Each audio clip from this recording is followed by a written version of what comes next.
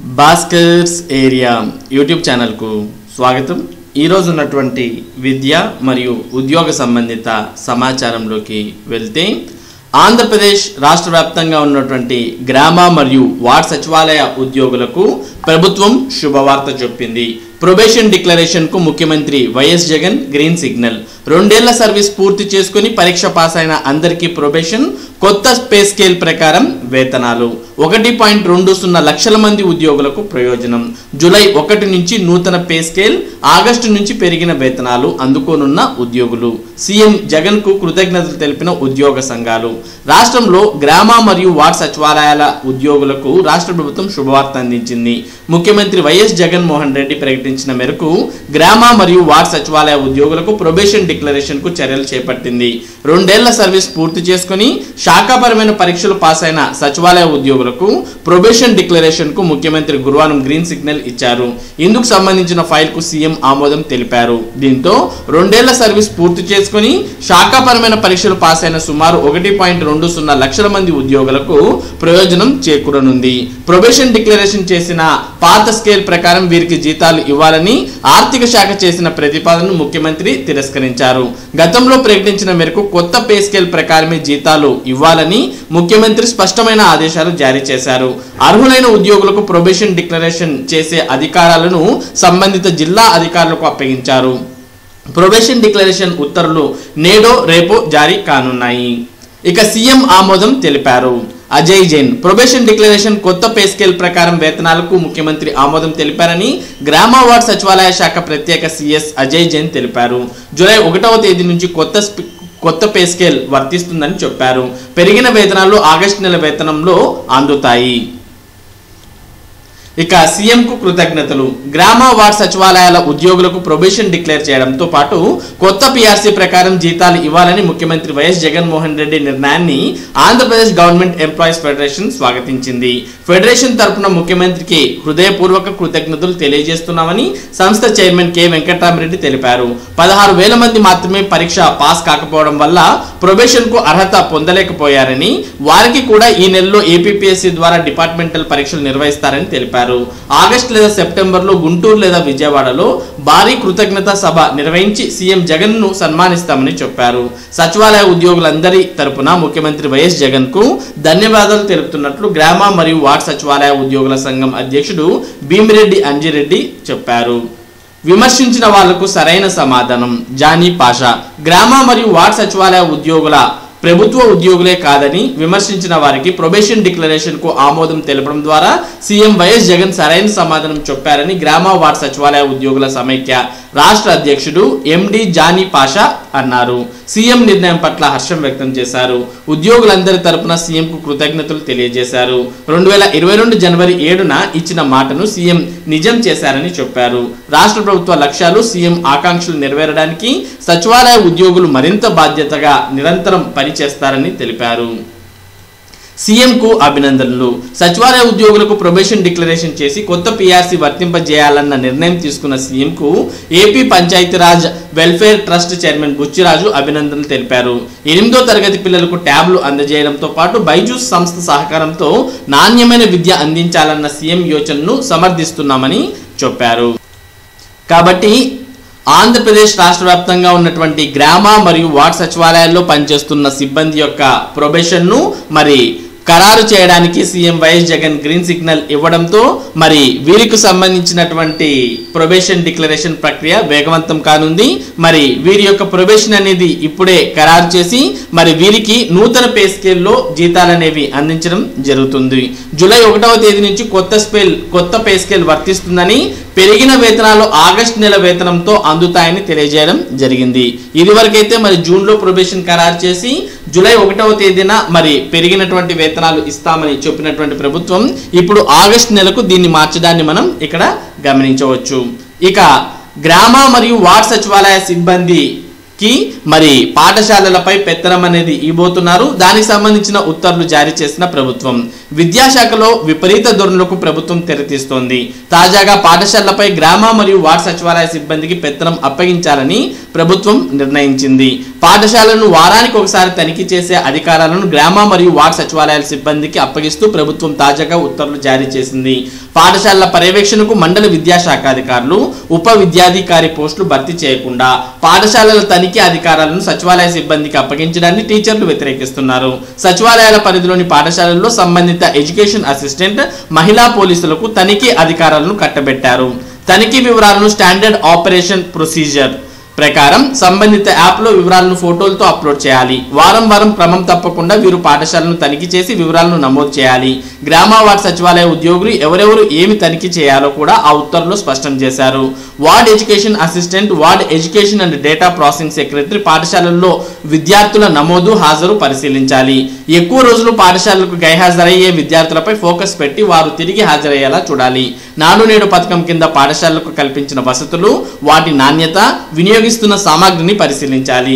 మధ్యాహ్న భోజనం నాణ్యత పరిశీలించడంతో పాటు విద్యార్థులకు జేవికే కిట్లు పంపిణీ చేశారా లేదా ఇస్తే విద్యార్థులు వినియోగిస్తున్నారా లేదా అనేది పరిశీలించాలి.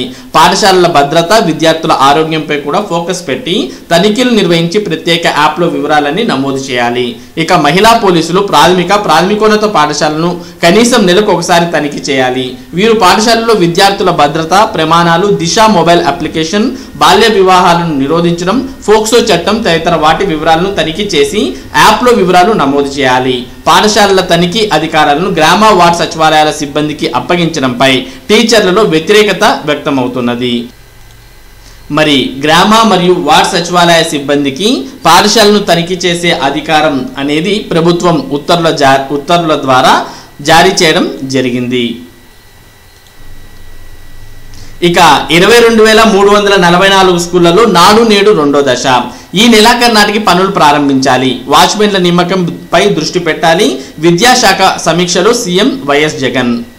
స్కూళ్ళు ప్రారంభించే నాటికే విద్యా కానుక అందజేయాలి. పాస్ పర్సెంటేజ్ తగ్గడం తప్పు కాదు. పదో తరగతి పరీక్షల ఫలితాల్లో ఉత్తీర్ణత శాతం తగ్గడాన్ని తప్పుగా భావించనక్కర్లేదని సీఎం అధికారులతో పేర్కొన్నారు. నాణ్యమైన విద్య అందించడమే లక్ష్యమని విద్యార్థుల్లో ప్రమాణాలు పెరిగేలా ముందుకు వెళ్ళాలని చెప్పారు.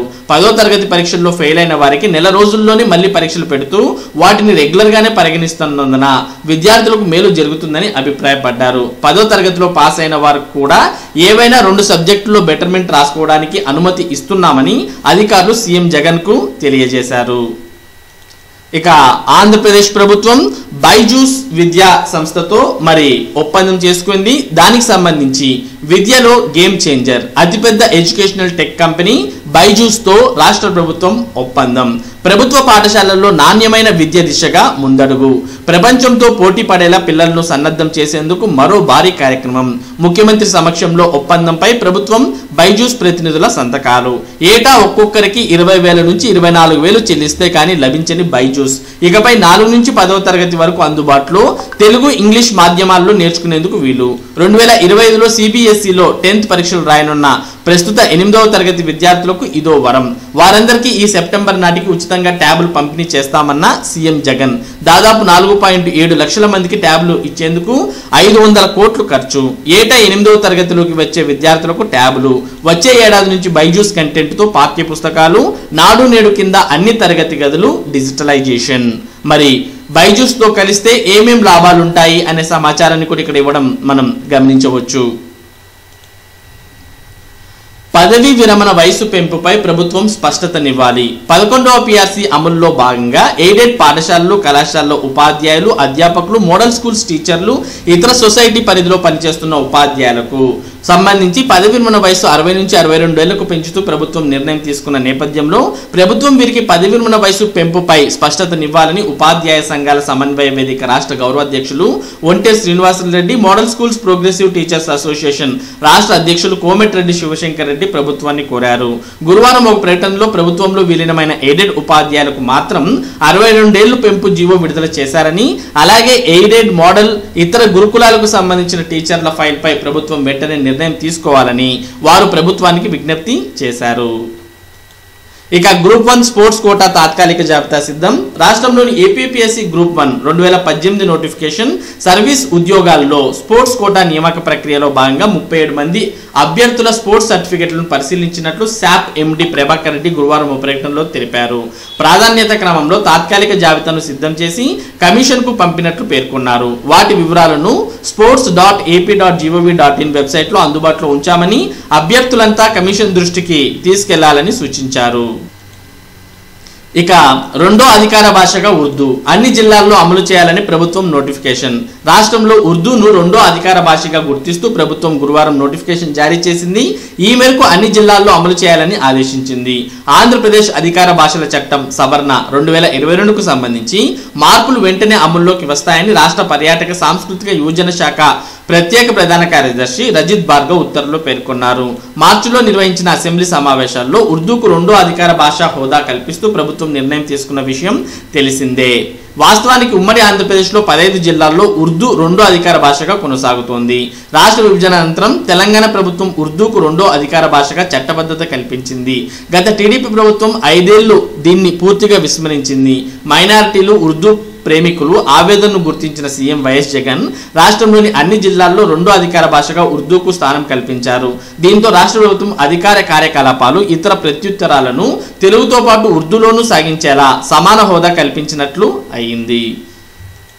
ఇక నర్సింగ్ కోర్సుల్లో ప్రవేశాలకు ప్రత్యేక పరీక్ష ఈ విద్యా సంవత్సరం నుంచి అర్హత పరీక్ష నర్సింగ్ సెట్ నిర్వహణకు ఎన్- ప్రభుత్వానికి ఎన్టీఆర్ హెల్త్ యూనివర్సిటీ లేక ఈ విద్యా సంవత్సరం అనగా రెండు వేల ఇరవై రెండు ఇరవై మూడు నుంచి బీఎస్సీ నర్సింగ్ కోర్సులో ప్రత్యేక పరీక్ష ద్వారా ప్రవేశాలు కల్పించనున్నారు.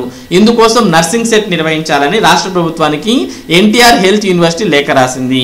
ఇంజనీరింగ్ మెడిసిన్ తరహాలోనే నర్సింగ్ విద్యలోను ప్రమాణాలు పెంచడానికి నీట్ లేదా రాష్ట్ర స్థాయి ప్రవేశ పరీక్ష నిర్వహించాలని ఇండియన్ నర్సింగ్ కౌన్సిల్ రెండు వేల ఇరవై రెండులోనే నిర్ణయించింది రెండు వేల ఇరవై ఒకటి ఇరవై రెండు విద్యా సంవత్సరం నుంచి నర్సింగ్ సెట్ నిర్వహించాల్సి ఉన్న అప్పట్లో కరోనాతో మినహాయింపు ఇచ్చారు. ఈ విద్యా సంవత్సరానికి కూడా మినహాయింపు కోసం ఎన్టీఆర్ వైద్య విశ్వవిద్యాలయం ప్రయత్నించగా ఇండియన్ నర్సింగ్ కౌన్సిల్ నిరాకరించింది. దీంతో ప్రత్యేక పరీక్ష నిర్వహించాలని కోరుతూ వర్సిటీ అధికారులు ప్రభుత్వానికి లేఖ రాశారు. కాబట్టి నర్సింగ్ కోర్సుల్లో ప్రవేశాలు కావాలి అంటే కంపల్సరీగా ప్రత్యేక పరీక్ష రాయాల్సిన అవసరం ఉంటుంది. మరి ఇవి ఈ ఉన్నటువంటి విద్య మరియు ఉద్యోగ సంబంధిత సమాచారం. ఇటువంటి ముఖ్యమైన సమాచారాన్ని భాస్కర్స్ ఏరియా మీకు అందిస్తూ ఉంటుంది. మరి ఈ సమాచారం మీరు పొందడానికి మన భాస్కర్స్ ఏరియా యూట్యూబ్ ఛానల్కు సబ్స్క్రైబ్ అవ్వండి. Thank you. Thank you for watching this video.